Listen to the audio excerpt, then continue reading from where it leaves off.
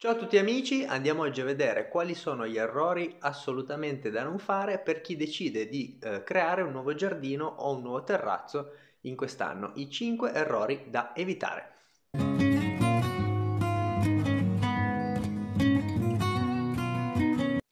Chi sono io per parlarvi di questo? Mi chiamo Alessandro e faccio l'agronomo e il garden designer e nella mia attività aiuto proprio le persone a progettare e a gestire i loro nuovi spazi verdi. Il primo errore assolutamente da evitare è quello di scegliere piante ad elevata richiesta idrica e con questo tipo di piante sto parlando di tutte quelle piante che eh, stanno molto bene all'ombra, quindi se il vostro giardino avrà un'esposizione di pieno sole sicuramente piante come le osta, eh, le idrangee, tanto per fare degli esempi, le dovremmo evitare. Andremo invece a scegliere quelle che sono le piante della nostra flora italica, le piante della macchia mediterranea, che sono delle piante a bassa esigenza idrica, anche perché eh, dobbiamo ormai adeguarci al fatto che i cambiamenti climatici ci impongono di scegliere piante che eh, sono eh, resistenti all'asciutto e che siano anche belle da vedere e soprattutto fiorite, che è quello che cerchiamo. Quindi sì eh, graminacee, sì eh, piante mediterranee, della macchia mediterranea e eh, evitiamo quindi piante a troppo elevata richiesta di acqua che molto probabilmente non riusciremo a seguire. Secondo errore da evitare assolutamente sia per chi eh, fa un terrazzo che per chi crea un nuovo giardino è quello di non pacciamare.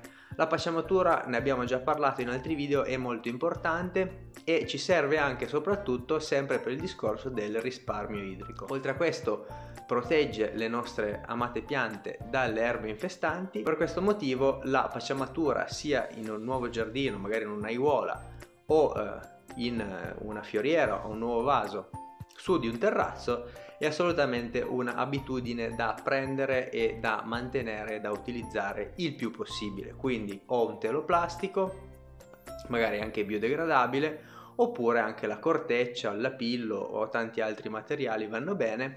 Sono tutti elementi utili per il nostro fine di avere giardini a bassa manutenzione, a eh, elevata bellezza e bassa richiesta di acqua. Terzo errore da evitare assolutamente come la peste è quello di scegliere gli alberi sbagliati per il luogo dove li vogliamo andare a piantare. Sto parlando di mettere piante di prima grandezza come possono essere per esempio un faggio, una quercia o un cedro vicino a una casa, 3 o 4 metri da una casa. Questo è un errore madornale che vedo spessissimo in, nella maggior parte dei giardini proprio perché ci costringerà nel corso degli anni a eh, fare delle potature oltre che dispendiose anche errate su una pianta che invece magari dovrebbe accrescersi sia in larghezza che in altezza di molti metri per mantenere queste piante entro i nostri canoni di eh, tra virgolette sicurezza.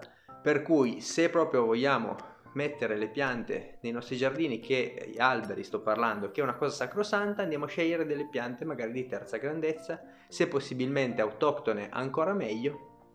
Ho fatto un video su questo, se volete andatevelo a vedere. Siamo al quarto errore eh, da eh, non fare per chi crea un nuovo giardino e sto parlando ovviamente di evitare il prato all'inglese ma eh, favorire il cosiddetto, tra virgolette, prato all'italiana, ovvero un prato misto di erbe anche spontanee che eh, se mantenuto nel giusto modo è sia bello da vedere che facile da mantenere.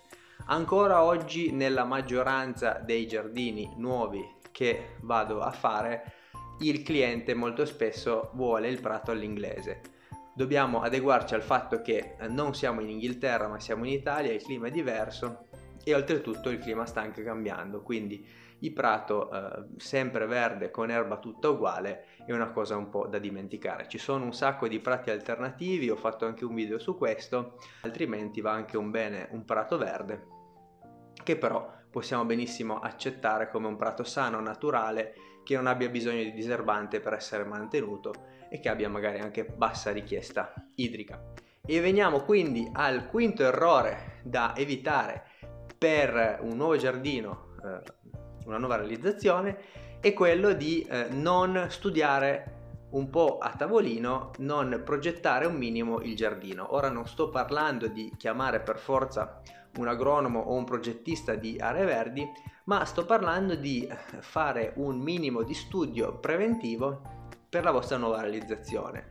La cosa che vi consiglio molto basilare ma che vi aiuterà un sacco è quella di andare a vedere, a studiare i giardini o i terrazzi dei vostri vicini di casa, della vostra città, del, dei paesi circostanti. Prendetevi del tempo per visitare questi giardini, magari domandare ai proprietari quali sono ai vostri vicini le piante che assolutamente vanno meglio guardatevele eh, se, non, se non conoscete i nomi ci sono delle app eh, fantastiche per riconoscere eh, le piante, ho fatto un video anche su questo e ehm, quindi scegliete quelle piante che vedete che eh, hanno fortuna negli altri giardini.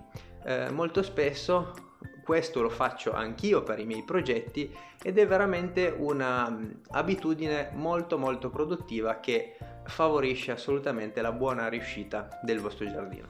E infine eh, vi chiedo eh, ancora una volta di mettere un bel like a questo video se vi è piaciuto, iscrivetevi al canale se non l'avete ancora fatto per sostenere questo e gli altri video che andrò a mm, mettere sul canale.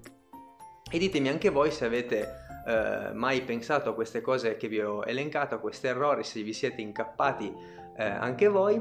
E per il resto ci vediamo alla prossima puntata.